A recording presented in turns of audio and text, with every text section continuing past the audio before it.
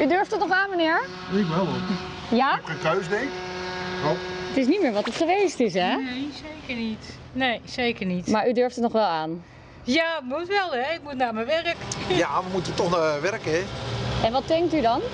Ik trek eh, euro. Ja, dat is eh, aardig eh, prijzig, hè? Twee, eh, zeg maar 2,29.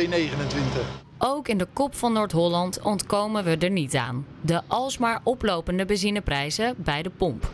Dat is niet alleen te merken in de portemonnee, maar ook aan de stemming van veel automobilisten.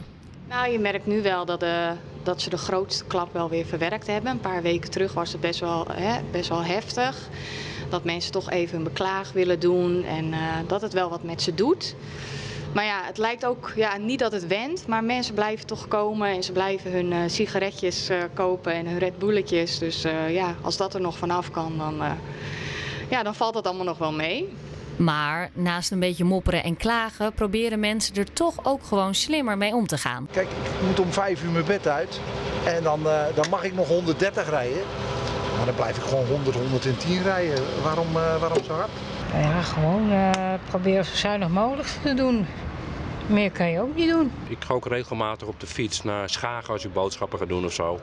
Ja, want niet alles is in oog te krijgen. Dus dan, ja, als het een beetje redelijk weer is, ga ik op de fiets. Ik rij als het nodig is. Als het niet nodig is, pakken we de fiets of eh, gaan we lopen. Maar eh, op het platteland heb je de auto vaak nodig. En het OV, is dat nog een optie? Eh, nee, dat is geen optie, nee.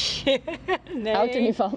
Nee, daar ben ik niet zo eh, voorstander van. Ja, want mijn werk is om 6 uur beginnen en om 2 uur ben ik klaar. Dus ja, de OV is eh, later.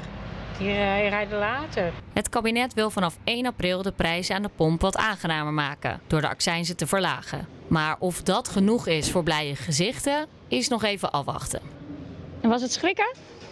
Was het schrikken? Nee hoor. Nee hoor.